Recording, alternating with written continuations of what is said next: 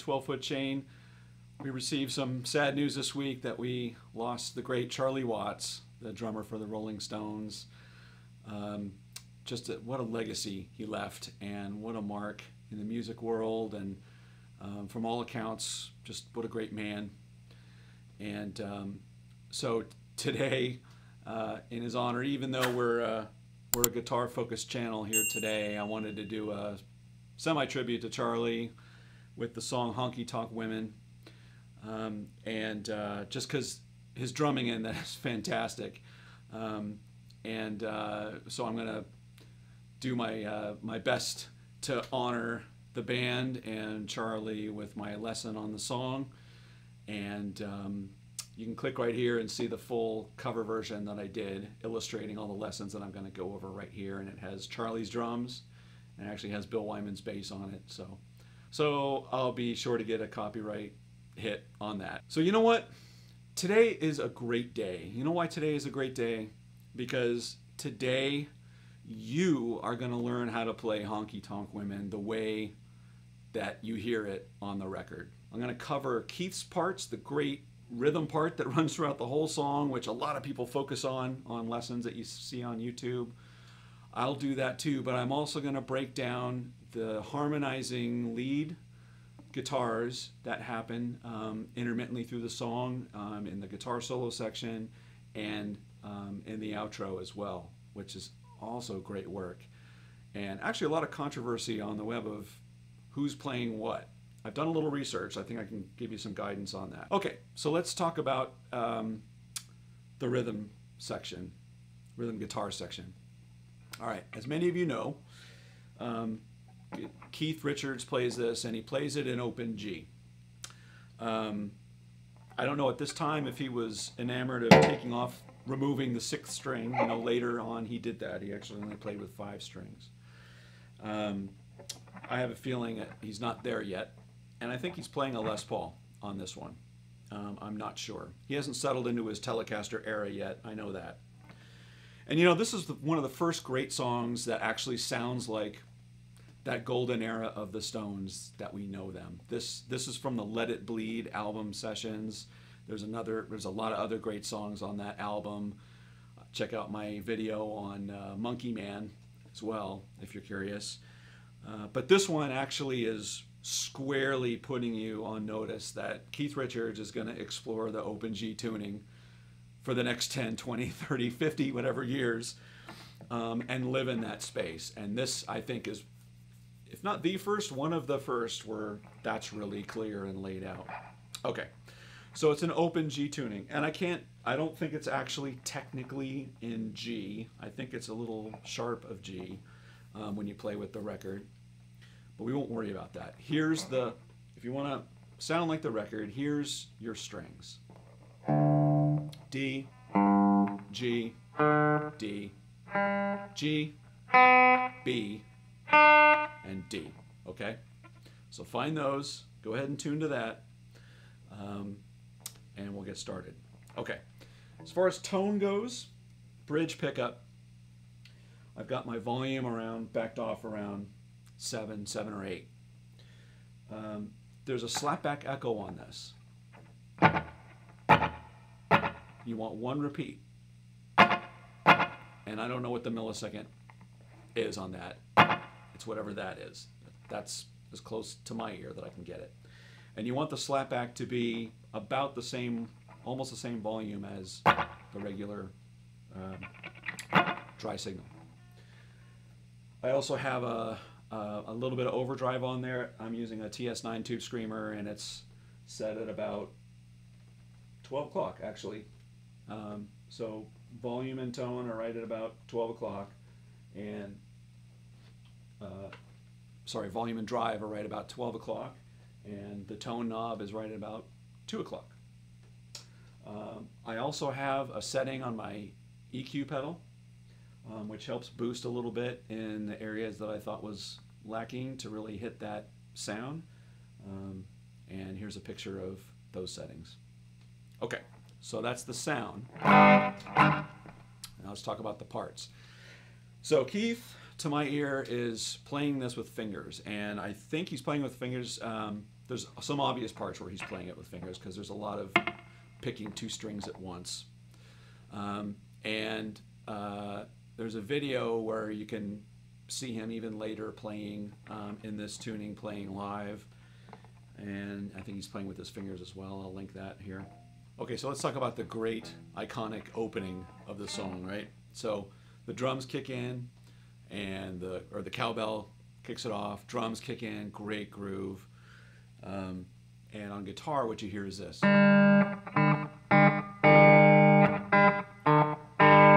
It's the D and the G string. Um, and you want to be very sort of staccato with it because you want to get the groove. Mm, uh,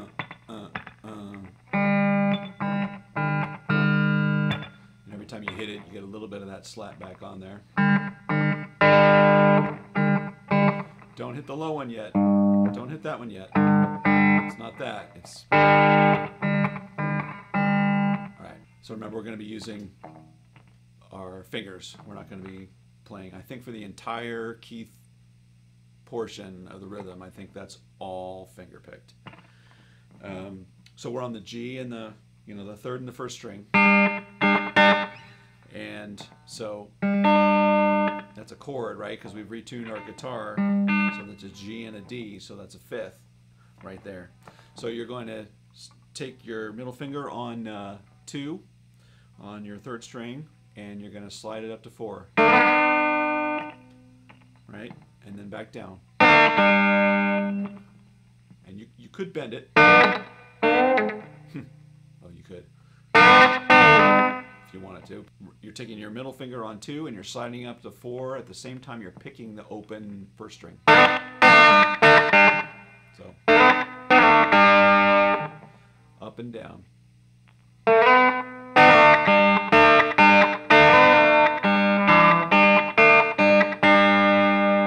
Right? So the the your your thumb and your middle finger is doing this.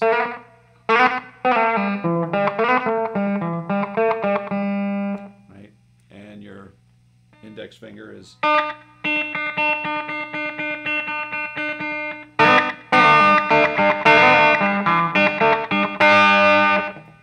that's your riff. And so, uh, after you're coming on the riff, um, on the verse section now, back to that.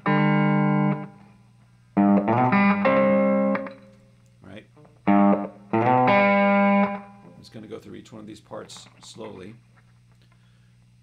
Now we're up here on our C, but we're just playing a couple, the, again, the fourth and the third string. So again, that first part is.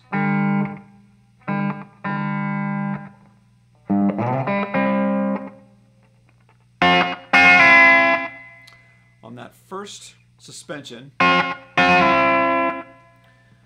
Um, many of you know the Keith, the standard sort of Keith chord suspension where you have you bar over and you're hammering on and off both the two frets up on the fourth string and one fret up on the second string. Right, that's a million Rolling Stones songs right there. In this case, on the record, he's starting that. He gets to that, but later. But he's starting on that first one. It's it's just that top part of it.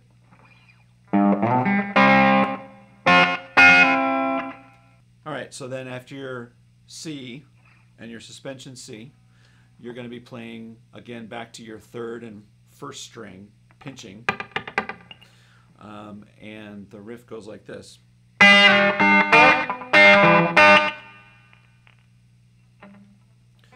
the timing is what's a little funky on that one. Um, and it oscillates throughout the song. So I'm going to show, you know, very close the timing and the riffs as they are on the record. Um, but as long as you're getting close on that and close on the timing with these, um, and you're playing in this open tuning, you're, you're going to nail it. And it's going to sound fantastic. So um, again, that whole part.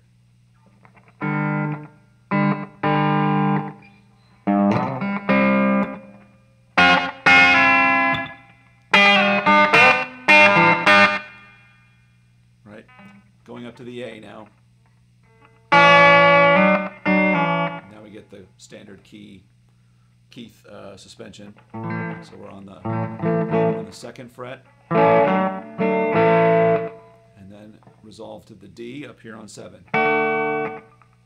And there you can do both. And then here's how we get back to the G. You're gonna be we're gonna be playing with the fifth string and the third string. And there's that great way that that note sounds on the record where it's like wow. I think he just hits that string really hard, but it almost sounds like it's a tape warble. Um, but it's great. So you hit it hard, but not too hard. You don't want to pull it sharp. But uh, yeah, you're going to land on that fifth string open. Then back to.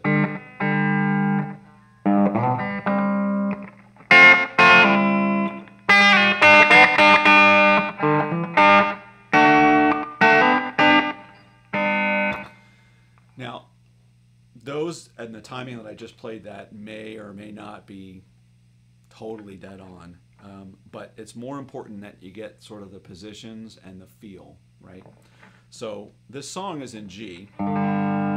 The chords that you're playing around with for the whole thing is based on the G, based on the C at 5, based on the D at 7, and based on the A at 2, right? I think those are the only four chords in the song.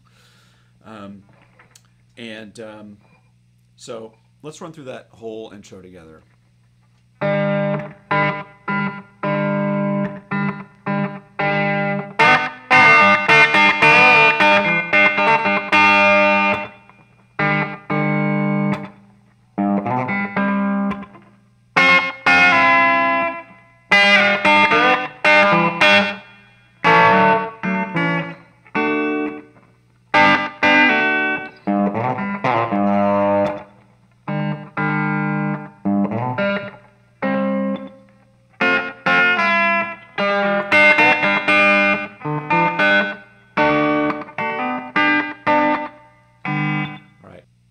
You get that strong open G, um, you're going to go back to.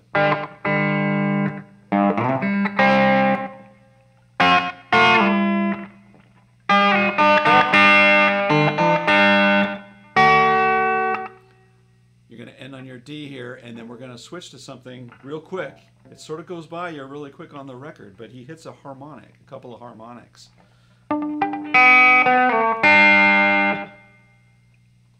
Again, it's like you hear that, and I guess, and you're like, oh yeah, I guess I did hear that. Like, at least for me, like, oh yeah, I guess I did hear that, but I would never think that that was there when you listen to it um, on the record. But that's what happens. He only does it on the on the first at the close of the first verse. He hits that B note just open, just a little bit.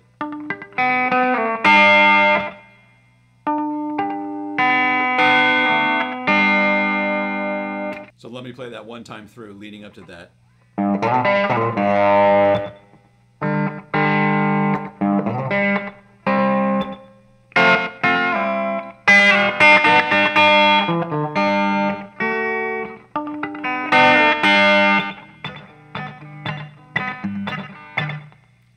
Into that really cool rhythm section. We're sticking with Keith's rhythm, Keith's rhythm part. So now we're on the G, and what he's doing here is very understated. It's very cool. Um, he's doing kind of a, he's doing this.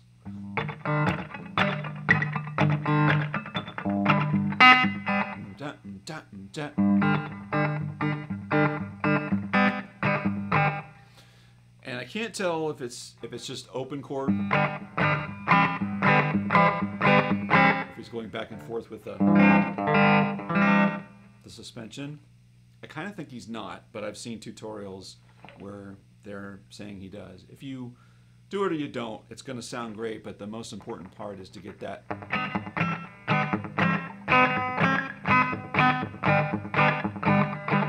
that feel, that slap back going on.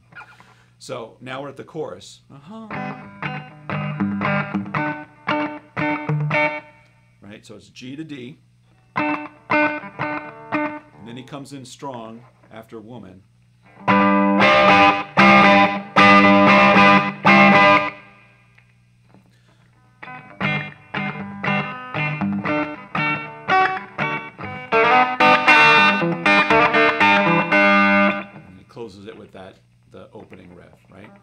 So again, the chorus is G to D, and uh, after the lyric "honky tonk women," honky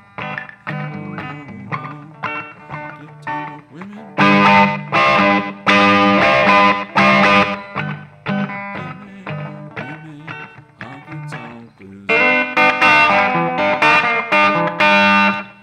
So that's the whole figure for sort of the verse section. Second verse, it's basically the same. The timing of some of those riffs and how they land is a little bit different, um, but those are all the same chords. It's the same sort of uh, riffs that he's doing there. So um, play around with that. Um, one of the differences uh, on the first time when he did that um, ending on that fifth string really hard. The second time he actually keeps the the third string on, so it's more like.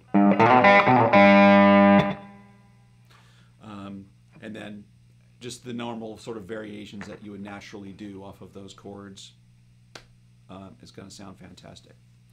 During the solo, he's doing the same thing. He's just basically playing a, a verse chord progression for the rhythm.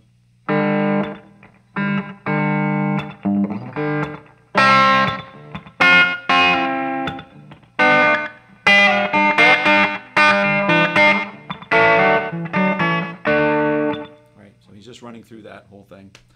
Um, and uh, after that, after that second chorus, it's just sort of vamping on the chorus a little bit. Um, so he's doing throughout the whole part uh, and that repeating chorus all the way out, he's doing the normal chorus part.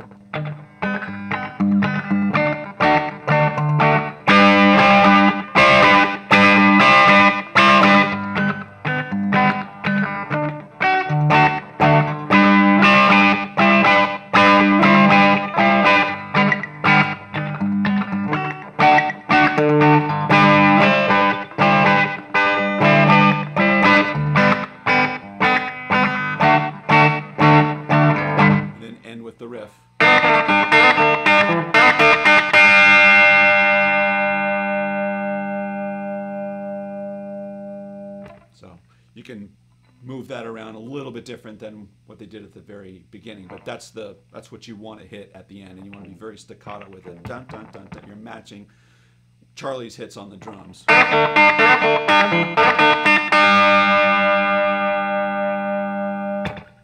you go. So, summing up the rhythm G, open G tuning, get that slapback echo on it, bridge pickup. Um, don't hit it wide open with your volume. Give yourself some space, seven or eight. Um, get a little bit of overdrive on there, and um, that's going to nail the rhythm tone. Now let's talk about the lead tones. There's two harmonizing guitars that play the sort of lead guitar sections. One of those guitars is in open G, um, and I believe it is Keith playing that. The other guitar, I believe, is in standard tuning, and it's possible that that's Mick Taylor. It's really hard to get good information about that. Um, I'm pretty confident the open G tuning guitar is Keith playing that because when you see them play it live in that sort of era, that early area, and I'll, and I'll link a video here that demonstrates that. Um, you can see play, uh, Keith doing this first riff that I'm going to talk about. Um, and he also plays the guitar solo live too. I always thought that was Mick Taylor, but I don't think that's Mick Taylor playing the solo on the record, and I'll show you that um, when we get to that part too. So there's two lead guitars playing harmonizing parts.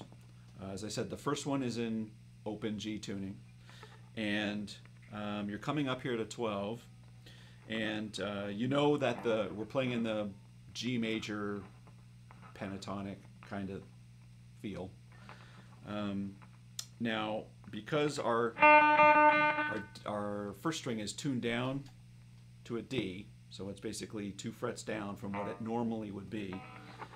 Um, if you were to do this major G major pentatonic bend uh, and you know riff that you normally know where you you bend up from 14 to you know to 16 on the G string. And you hit the 12th fret on the first string. Normally that would sound like this. Right? But now because you've tuned the string down it's a little bit different. But what you hear on the record is this. You hear a lot of that. Um, and so you have to learn a new sort of finger position with your pinky that you might not be naturally used to um, if you haven't played with this tuning for a little while. Um, but that first part, it sounds like this.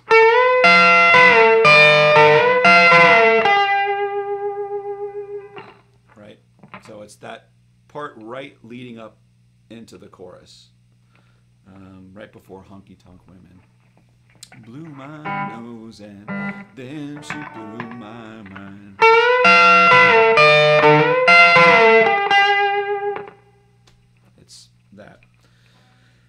Um, and then it runs through. Um, what you also hear on the isolated track, and I'll link to a great video that somebody put together that deconstructs this song, and you can hear a lot of the individual guitar parts. And you can hear a lot of the individual guitar parts too that are at different levels that they ended up being on the record, I think. Because there's things in here that uh, that I'm going to play, I'm going to show you, and you'll you'll see it on that video. Um, but uh, I don't know that it's really apparent on the record. Um, I think the level might be pulled down, but who knows? Anyway, so the guitar that's doing that.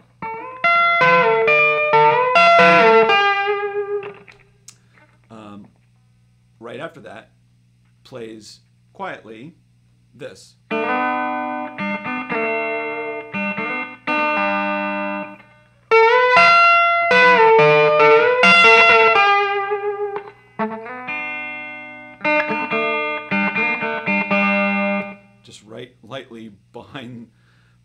The singer. It's great. Um, and then it, and that section ends with the rhythm guitar now that you hear that we learn.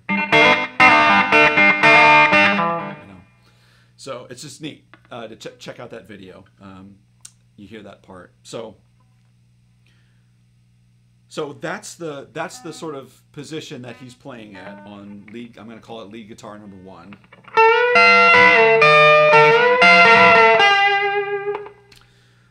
And um, there's just variations on that all the way through the first, you know, chorus section, and the second chorus section does the same thing. So sticking with the guitar number one, um, now when you get to the outro part of the song, which is just the repeated chorus, you're still basically vamping off of this idea.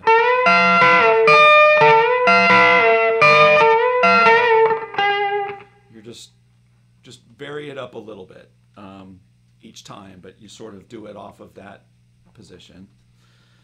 Um, the very, very end, he does some repeating um, bend up, bend down, bend up, bend down.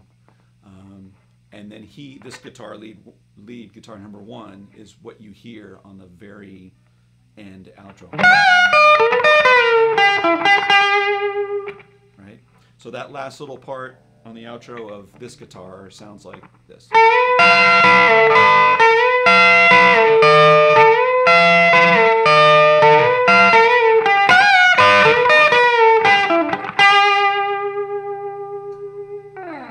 Right now that's so that's lead guitar number one. Um, now let's talk about lead guitar number two.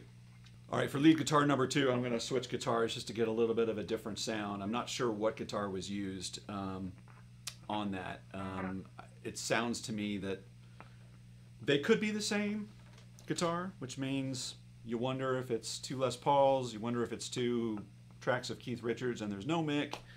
Um, but the credits seem to show that Mick played on the song. Um, and so I'm going to call this the Mick Taylor part or lead guitar number two part. So this is in standard tuning, about the same sound configuration. Um, for these, by the way, for these lead guitar parts, turn your uh, echo off. Um, these, I don't believe, have the slapback echo on it. Um, it uh, it muddies it up a little bit, so this makes it really, really crisp and clear. Uh, okay, so we are now um, the second lead guitar coming into the chorus. So while the I'm going to approximate what lead guitar number one did. So we just learned lead guitar number one is doing this kind of a thing although I'm playing it differently with fingers. So lead guitar number two is doing this.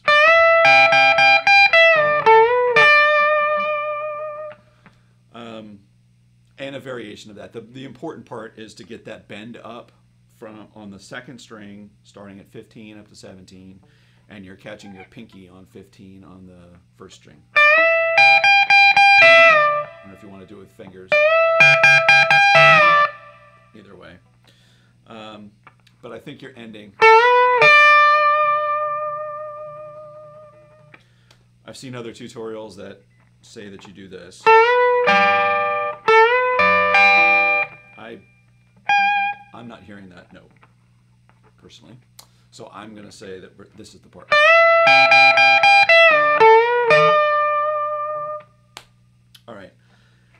And just like the other one, you're doing subtle variations of that um, throughout. So lead guitar number one is playing their part, lead guitar number two is playing this part in harmony with it, and it's just it's a great interplay.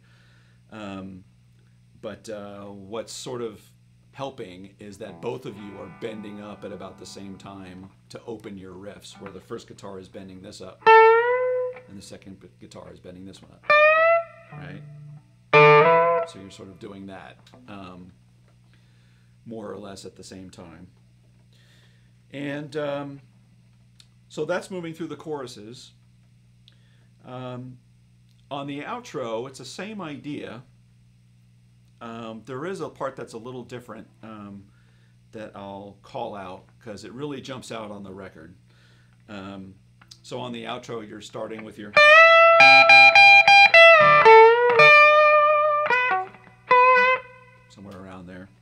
So you're repeating that. Um, at some point, you hear this uh, where you're sort of on that piece of a, it's like the piece of a C uh, triad.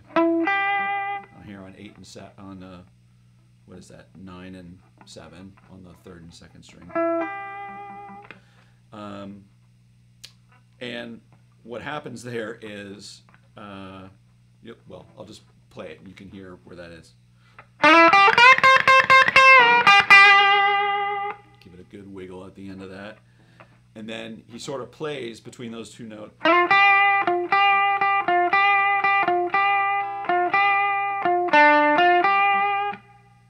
So that's in there on the second guitar. Um, and the second lead doesn't I don't think he's really anything doing anything on the very last, you know, the riff that the other guitar is playing.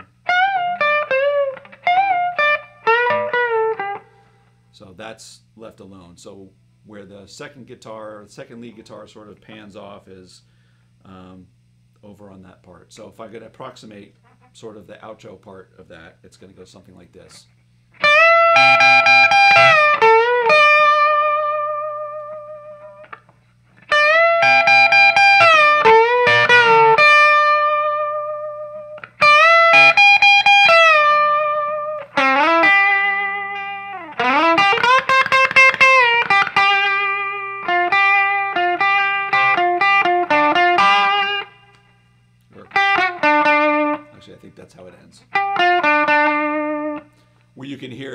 That deconstructed song. I'll link here again. Um, go to that deconstructed song and you can hear that um, on the first section of it.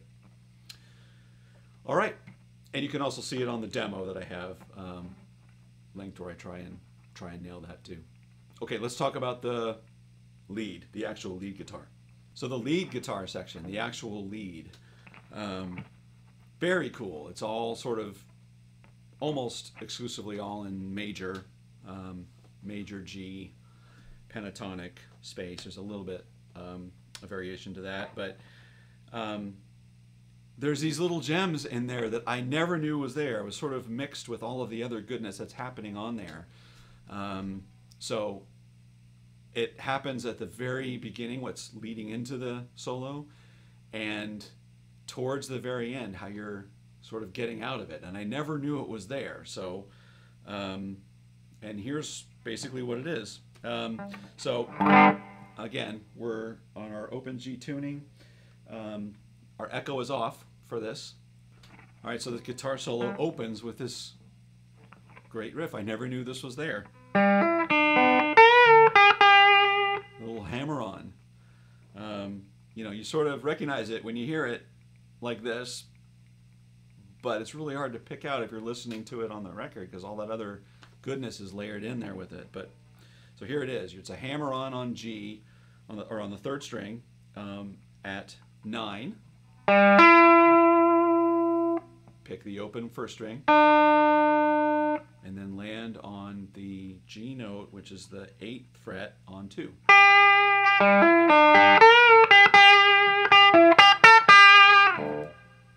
Right? Then you're sliding into the C. The chord goes to the C. Um, so you're going to part. You're going to stick in this position here, and now you're on the part of a C chord. Right? That's the major. And then now we're going to get that seventh. Because you're tuned in open G, that's your seventh. You could also do. So take your choice there. Um, so major. All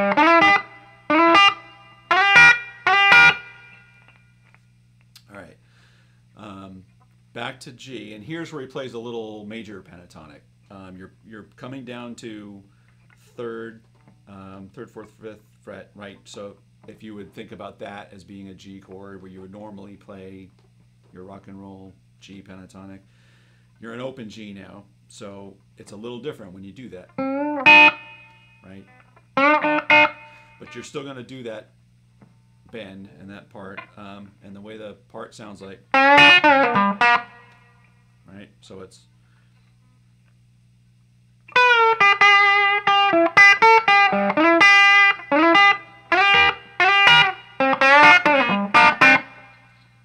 And then slide down a fret, you're coming up to the A.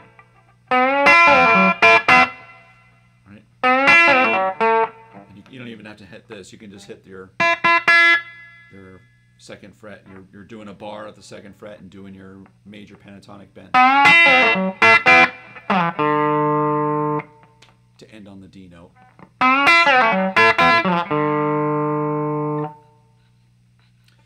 And you close that out up here, come up to, to your, what is your D chord.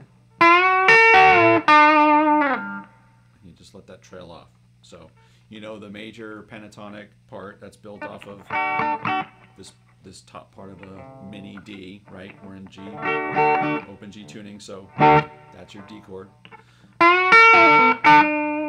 So he's he's just really playing off of that. He's playing that in all the different spots.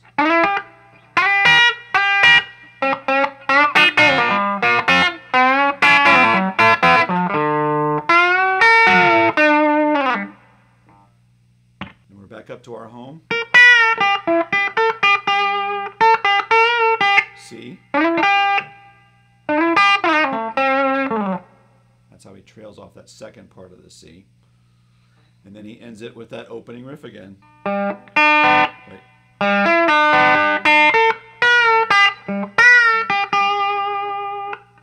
that awesome? And then, like we did with lead guitar number one. So I'll run through that uh, one time uh, slowly and one time at regular speed.